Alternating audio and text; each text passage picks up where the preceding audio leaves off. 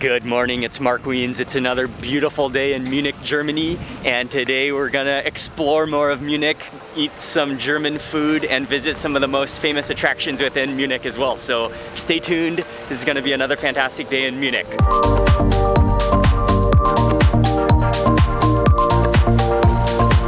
It's about 9 a.m. right now and we're on our way first to eat at a bakery. There's this really famous uh, baked pastry and it's just up ahead. Oh, here it is, we made it. It's called Cafe Frischhut and they have just a little inside section or maybe they have an upstairs too. But anyway, it's such a nice day and they have such a nice patio here that this is the perfect place to sit. Two of the Schmalznudel? Schmalznudel? Okay, two Schmalznudel please. And that's what you gotta come here to eat. It's on its way and also a coffee.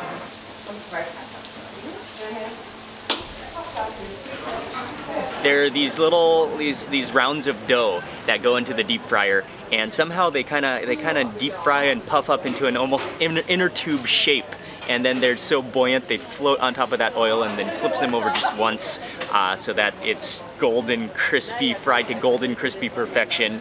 And it is served yeah right out of the oil. It is so hot it's so fresh. And she said that you can put uh, sugar on it if you want or I think you can just eat it as is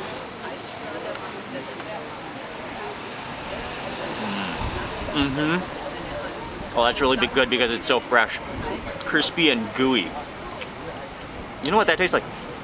It's very similar. No, in Thai, it's a Chinese, the Chinese savory donuts. It tastes very similar to that. It's not, it's not sweet, a little bit salty to contrast the, the flavor. That needs to be followed with coffee.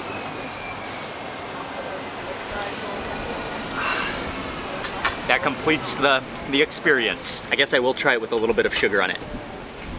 Just on this, on this edge for now, because I actually really love it with no sugar. All right. Oh, and I want to get some of that, some of that center. You can see that that center is kind of extra gooey.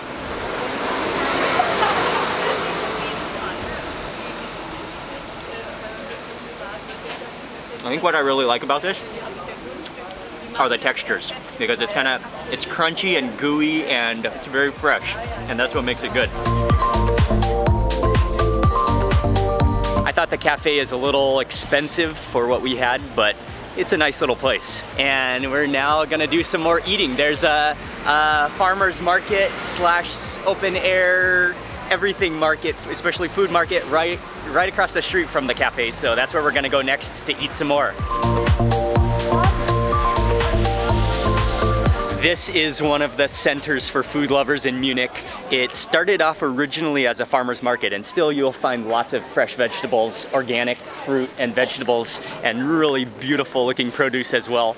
Uh, but it's also more than that, there's a lot of cooked food here as well. You can find some gourmet food. You can find things like pickled things and preserved things as well as a lot. This is, this is what you call a wurst a sausage paradise. And then if you go right in the center, there is a beer garden where you can sit and hang out and just enjoy the atmosphere. But this is a fantastic market and this is a place you have to come to if you love food in Munich. There are a lot of different sausage options at this market. You could eat you could eat sausage for days. Uh, but I chose to come to this place right here uh, because I saw a sign they have a type of sausage that I was most looking forward to eating here in Munich, and it's uh, it's the white sausage, and it's a Bavarian sausage specialty. Uh, but this is a traditional sausage that is typically, from what I understand, consumed in between breakfast and lunch. So it's 10 a.m. right now. This is perfect sausage time time. Break these guys apart. Oh, oh, that casing. And you have to, oh, the, the sponginess of that. You have to dip it in the sweet mustard.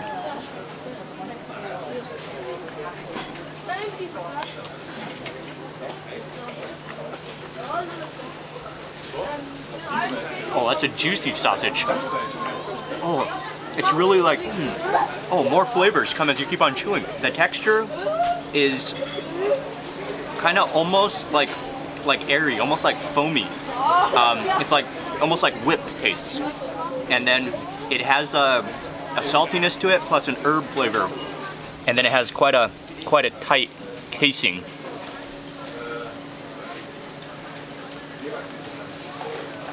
Mm. I can tell immediately why this is such a popular um, in between breakfast and lunch sausage because it's so it's so soothing. Mm-hmm. They know how to make pretzels. Perfectly crispy all around. And I love that, that those rocks of salt on there. It's a wonderful combination. Okay, that was delicious. Now on to the next place. By the way, one more tip. If you come here right at this time, it's 10.30 a.m. It's perfect. All the shops are open, all the food is fresh, and it's not that busy. But I was here another day at about noon or 1 p.m. and it was just packed and lines were long out of every restaurant. So come here early and you will be you will be feasting. Okay, here it is, the leberkas. And I am a, a mustard kind of guy. Going in for the for a good squeeze. And let that bread let that bread push it out. Oh, beautiful. This is another just classic Bavarian meat treat. And this is like, this is sausage in a totally different form and shape. Uh, that, that, that's just the perfect ratio. That, that makes me very happy to see the meat just, just overwhelming the bun like this.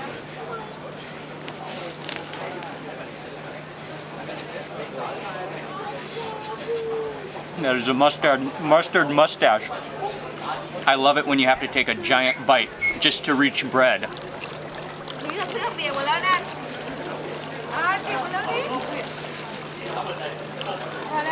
It's really good. It's really, really tender in texture. And it's so smooth and so dense. It's, it's just like meat density. I want to tell you a really quick little story. When I was about five years old, my family and I, we lived in France for one year. And my parents and my sister, they all loved to eat baguettes and ham. And for some reason at that age, I, I, don't know, I don't know why, but some reason I didn't really like ham back then. Now I love ham. And so I remember my mom and dad, they would always buy me a pack of bologna. And so this, uh, so I ate a lot of bologna when I was in France, uh, when I was a little kid. This brings back memories. This tastes like, it, it tastes similar to bologna. That brings back some, some great childhood eating memories.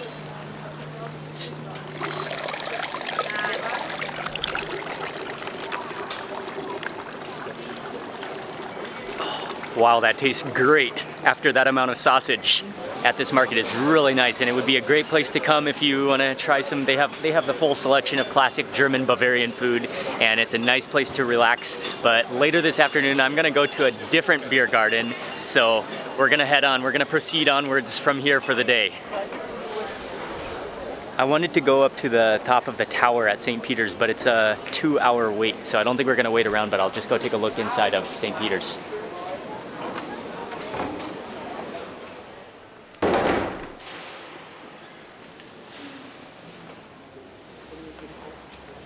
Pretty amazing inside the church, especially if you look up and you see the ceilings, the paintings on the ceilings.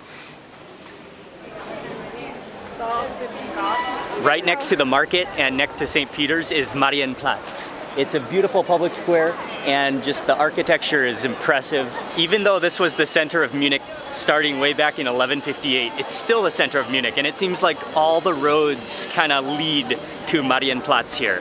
And it's, it's really a, an amazing sight to see when you're in Munich.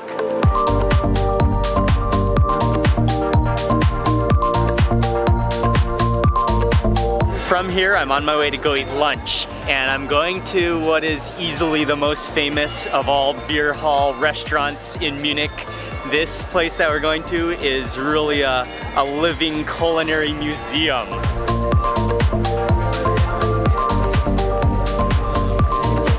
Walk around the corner and all of a sudden there it is, the Hofbräuhaus, a, an institution with unparalleled beer history in Munich. And this is gonna be my first time here. Walk in, this is like a, a huge, I know this is a gigantic restaurant and I think they have an upstairs level. Uh, this is the downstairs. I know they have a beer garden as well. They just have multiple, oh, and there's gonna be a band playing as well. Maybe we should sit on the downstairs level so we get a glimpse of the, so we can hear the band playing. But, wow. I'm just taking a quick walk around before the food comes. Uh, but one of the most interesting, fascinating things about this beer hall is that many there are many locals that are so dedicated to Hofbräuhaus and so loyal that they store their beer mug here. So you can see all of the locks. It's like a it's like a, a metal lockers for, for beer mugs, which are all locked up. And so you can, if you come here frequently, you can keep your beer mug here, and then you have your own mug when you come here.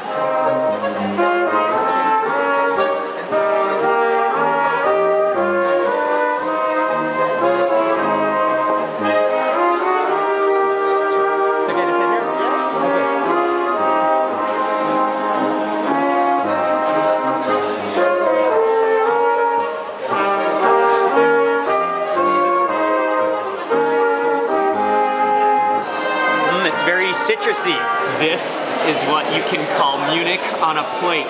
I had to go for the roast pork knuckle, and it's the whole knuckle, and you can, that is just amazing how crackly the skin is. And it comes with a potato dumpling and then doused in gravy.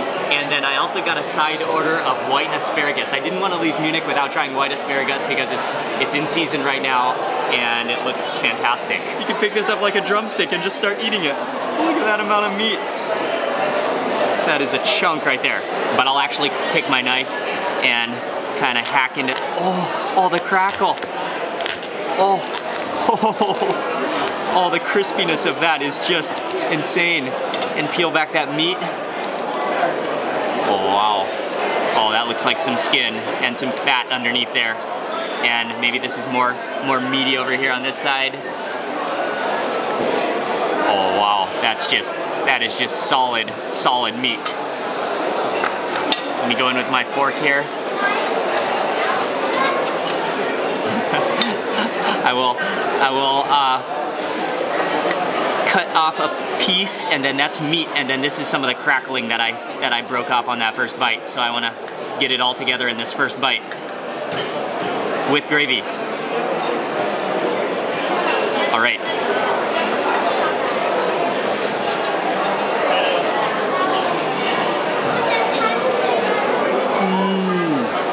Oh, that's awesome. Oh, it's salty. It has kind of a ham taste to it, and it's so crunchy. And then that's a that's like a very rich, meaty gravy on there.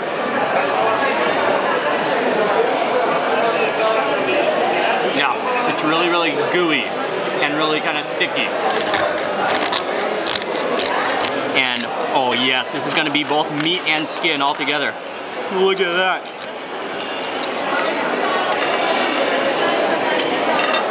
Dip in the gravy. Look at that crackling piece right there.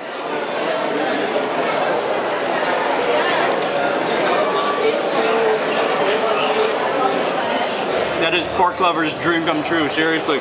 Oh, it's so good. And the, the meat is tender, but it's not like melt in your mouth tender. It has some good texture to it. Okay, now over to try the white asparagus. And it's served with potatoes as well as hollandaise sauce. Quick dip into the sauce.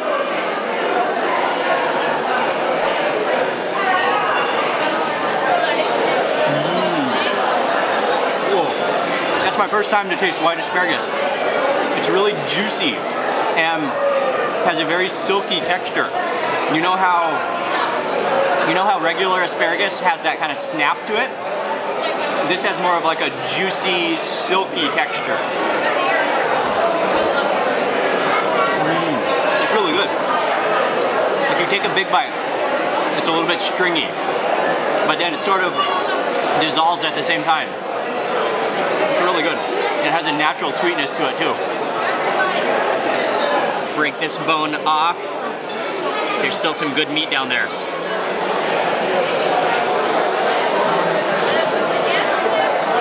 You've got a lot of different textures going on. There's some rubber bits, some elasticy bits, some soft, tender, meaty bits, and then that crunch from the skin. This is really, uh, it's like a palace or a castle of salty fried meat and beer. And this is really an institution in Munich. You can come here to eat and come here to hang out, but also you can come in here just to, it's, it's really like a, like a living museum of Munich. And this is definitely a must visit when you're in Munich. Not only if you love food, but just to see this unique culture in Munich. It's like a totally different world in there.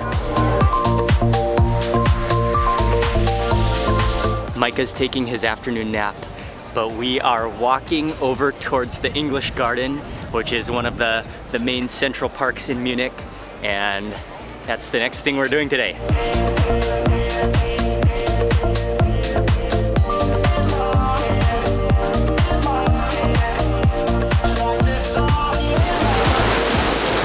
That was a fantastic walk. We made it to the English Garden.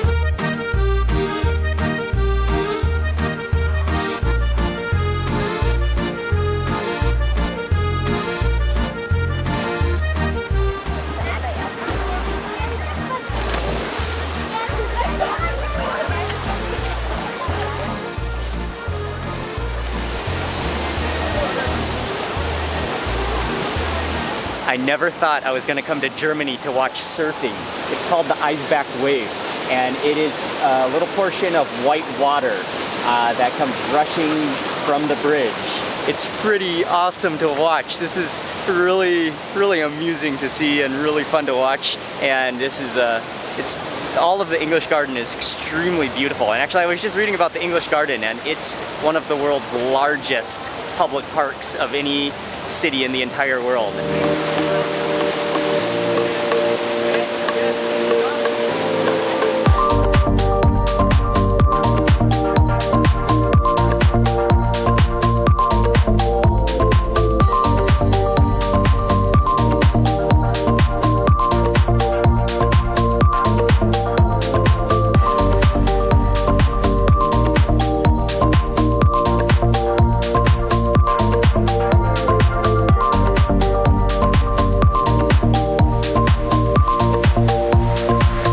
Surfing was really fun to watch. And it's actually just a, a wave of rushing water.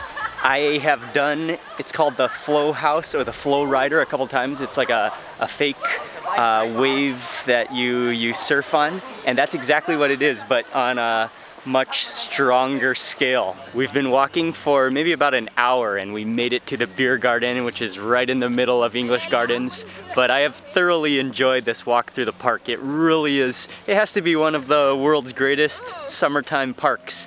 And, oh, here it is. And right now the band just started playing over in that central gazebo pagoda over there. Uh, I wanted to eat this thing. This is what everybody eats. See?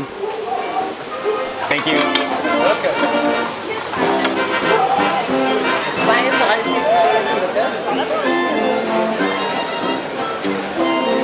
Thank you. Enjoy.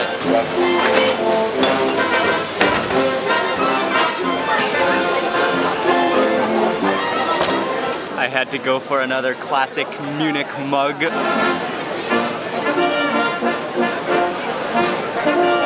It is really refreshing. Something that I've been wanting to try is this dish right here, which is a, it's a type of mixed salad with onions, and I think normally you eat it with pretzel, I think. And I think you can kind of scoop up some of the, some of the salad. I'm not actually sure exactly what it is, but I've just been seeing a lot of people eat it, and it looks good. And with some of the red onions. Oh, or a lot of the red onions.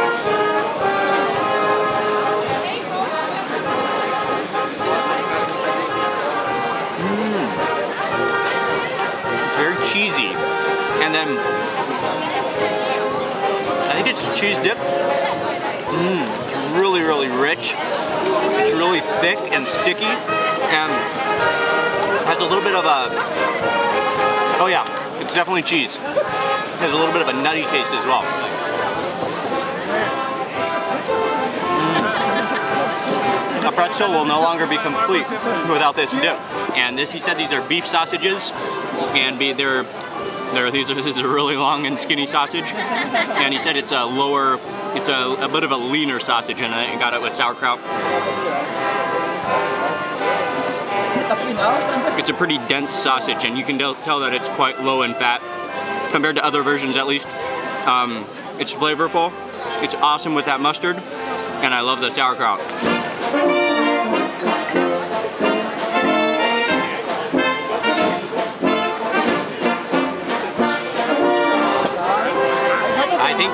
This right here is what I love so much about Munich. Being able to hang out in the garden, hang out with friends and family, enjoy the social atmosphere. In the summer, the trees are just absolutely beautiful.